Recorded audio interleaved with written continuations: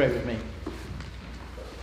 And they said unto him, Sir, we would see Jesus. On this Easter Sunday, we pray so by your Holy Spirit. In his name, Amen.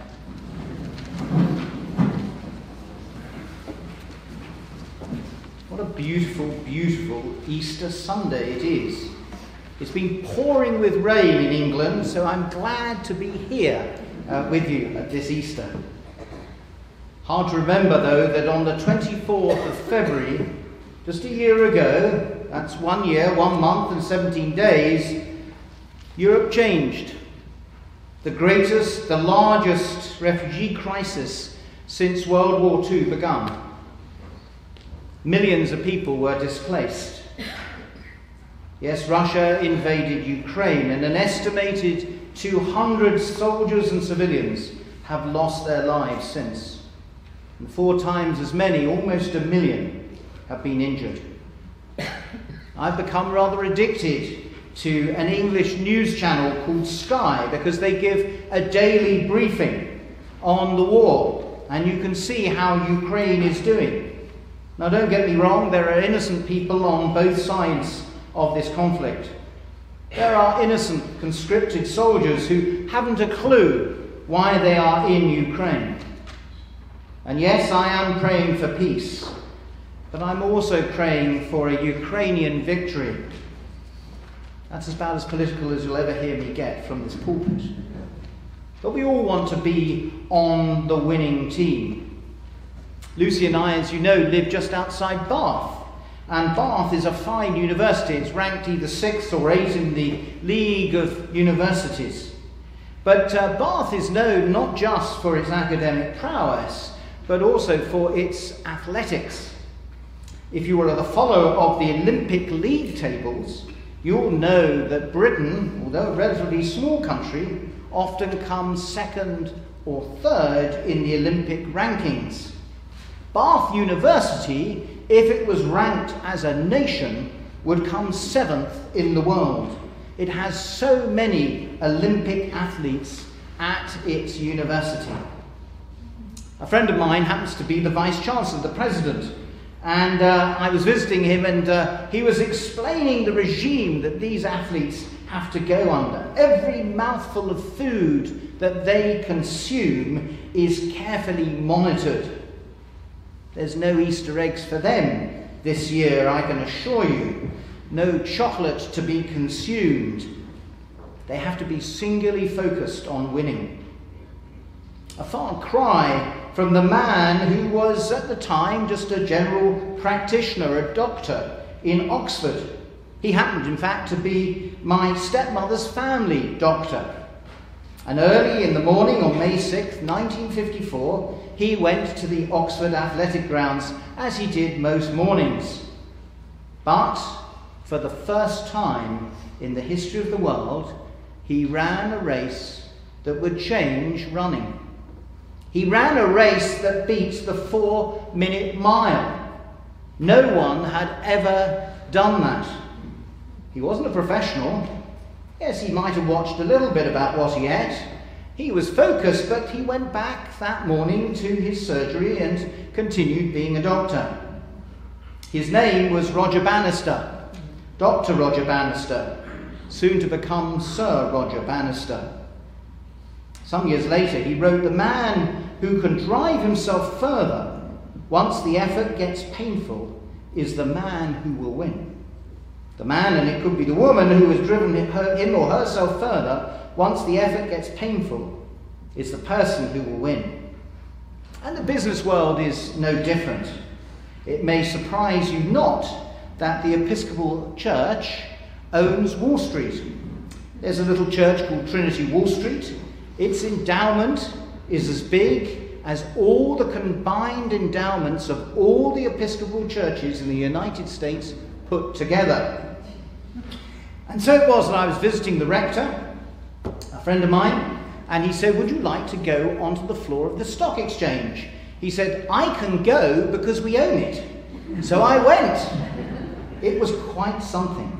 Talk about a fierce competitive edge in that room. The energy was amazing, the language a little colourful. But there, above everything else, was this big sign outsell, outbuy, and outperform. Outsell, outbuy, and outperform.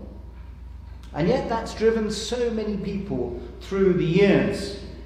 One of the greatest of that was Thomas Edison, a man who invented so much, over a thousand patents, the light bulbs that we use now, the first movie cameras. He had a vast empire that outbought and outsold and outdid everything. And yet, and yet there's nothing left of Edison's empire. The 100,000 people who worked there, yes, the town is still called for him. It's still Edison in Orange, New Jersey, but it's just a few buildings owned by the uh, national parks. Everything's been sold off, went out of business, it's been torn down. You see, Thomas Edison, though he was brilliant, couldn't share the glory. He couldn't share control, not even with his own children, who simply lost interest. Today, Jesus understood true glory.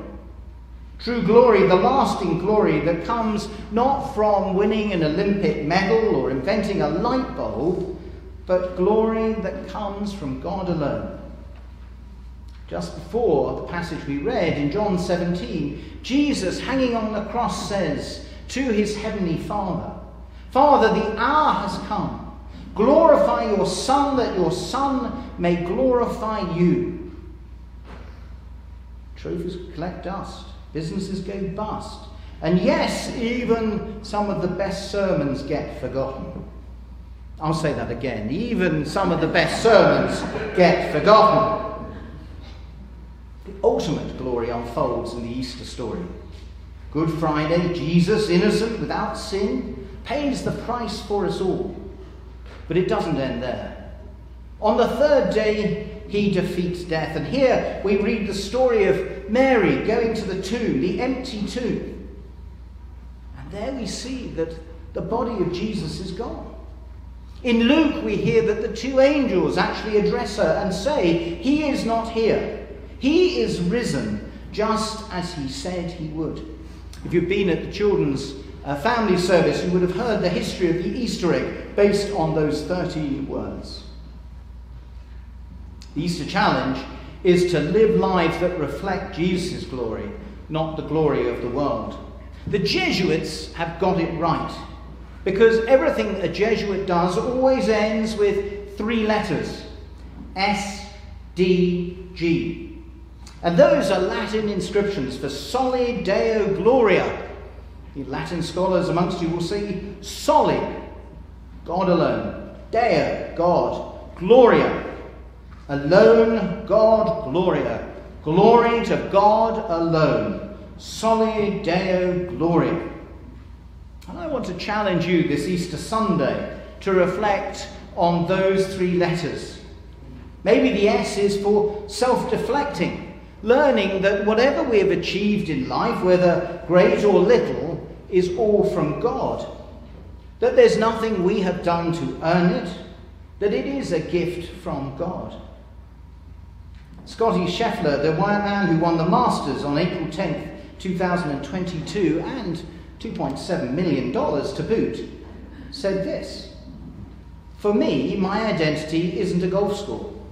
My wife, Meredith, told me this morning, before my final Masters round, if you win the Masters today, or if you lose by 10 shots and you never win another tournament again, I'm still going to love you. Jesus is still going to love you. Nothing will change.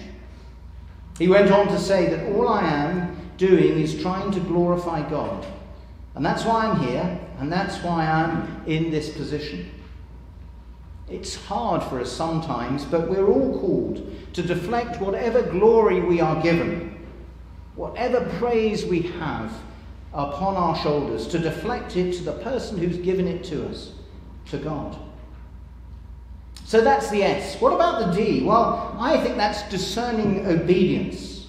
It's being willing to listen to God even when God takes us to places we don't expect. Henry Nouwen was one of the most profound theologians of the last century. His writings have had resonation, have resonated through the years. He was a humble man. He was the senior tenured professor at both Yale and Harvard simultaneously. One of only two people who have managed that. He was at the height of his academic success. He was basking in the glory of the Ivy League. And yet, at that very moment, he felt the nudge of God that he couldn't deny, calling him away. It didn't make sense. It didn't make any logic at all. His friends scratched their heads, but he left those hallowed halls, that ivory tower of Yale and Harvard, and he went as a volunteer for the rest of his life to the L'Arche community, a community of physically and mentally disabled adults. For now, and the challenge wasn't competing in the classroom, writing great books. No, it was learning how to serve, to feed, to wash those who couldn't care for themselves. He devoted his life to their service, but remarkably wrote some of his most profound works while serving at L'Arche. That's where he lived out the rest of his life and indeed where he died. He was willing to discern what God would have him do. It may not be as extreme as Henry Nouwen, but God might be nudging you this Easter Sunday to do something you hadn't thought about. So we've had the S, we've had the D. What about the G? God's glory. God alone is sovereign. We may control our lives or think that we control our lives, but God, ultimately, our lives are in His hands. You see, the Lord gives and the Lord takes away. True Christian glory is that we belong to God by faith. Through His grace in Jesus, we have the promise of eternal life and glory. Very often, very often, you are confronted by people who live lives that really are very self centered, lives that focus solely on their own sense of purpose, their own sense of achievement. You've heard me say that you never see a hearse with a U haul, but we do try and convince ourselves that we can take it with us. I've been privileged to meet some of the true saints. One of them, George Gallup. George and Kitty were friends of Lucy and myself. George had inherited the Gallup polling organisation from his father. But George, before he went into business, was an all star athlete. He was Princeton, uh, he was captain of both the Princeton football and baseball teams in one season. He was an enormous bear of a man. He was a successful businessman. He took what he'd been given, what he inherited, and grew it enormously. He was a generous benefactor. But more than anything else, he was a follower of Jesus Christ. The climax of that for me was his funeral. The good and the great had gathered in Princeton Chapel. There was the president of Princeton, and all the other Illuminati were there. The governor of the state was there. You could recognize some of these famous people who turned out to see George off because he was dearly loved by the whole community. But George, being George, had left just one thing up his sleeve, right to the very end. You see, as George's coffin was picked up by the pallbearers, and as it was turned around and made its exit out of that enormous chapel at Princeton, from nowhere, a Dixie band appeared. An enormous Dixie band that played up, Oh, when the saints go marching in. That was George. That was George to a T. Vibrant, funny, having the last laugh, but also true to George. For he was a saint, and he was going into glory. See, George understood what true glory was. This Easter, we celebrate the glory of an empty cross. We reflect on its meaning for us. I hope that in our funerals one day we will go out to the tune oh, when the saints go marching in.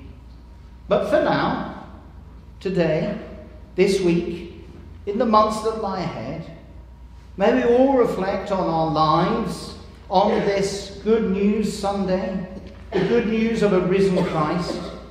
And may we be bold enough to end our letters, our work, our families, indeed our lives, with those three words Soli Deo Gloria, to glory to God alone. Amen.